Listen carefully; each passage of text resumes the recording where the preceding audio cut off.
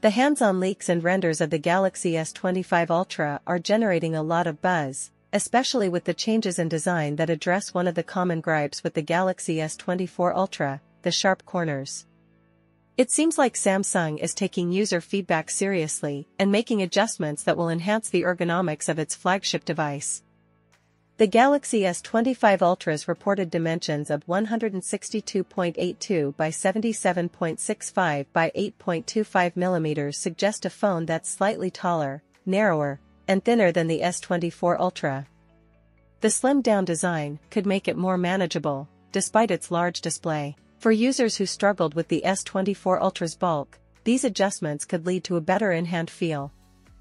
One of the biggest complaints about the S24 Ultra was the sharp corners digging into the palm, making it uncomfortable to hold for extended periods. The S25 Ultra's rounded corners and flatter sides look like a much-needed improvement for comfort. This should make it easier to grip, even with a large 6.8-inch display, and less fatiguing during long usage sessions. The leaked case images showing the S Pen positioned near the edge also indicate that Samsung is keeping the design practical for Note enthusiasts. For those who use the S Pen regularly, this convenient placement continues to make it easily accessible. I completely agree with your point about the sharp corners on the S24 Ultra being a pain. It's especially noticeable when holding the phone one-handed or trying to use it without a case. If the S25 Ultra truly adopts a design with more rounded corners and a flatter profile, it could be a major win for both usability and comfort.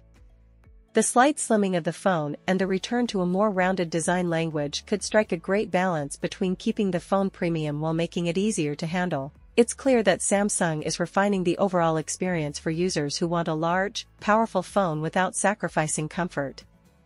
Of course, as you mentioned, these are still just leaks and dummy units, so it's best to keep some skepticism until the official announcement. Sometimes design details evolve between early dummy models and final production units. But based on the leaks so far, it's looking like the S25 Ultra could offer a refined version of the Ultra experience, balancing power with comfort. If these leaks hold true, the Galaxy S25 Ultra could address a lot of user pain points, especially in terms of comfort. The rounded corners and flatter sides would be a welcome change for those who found the S24 Ultra difficult to use without a case.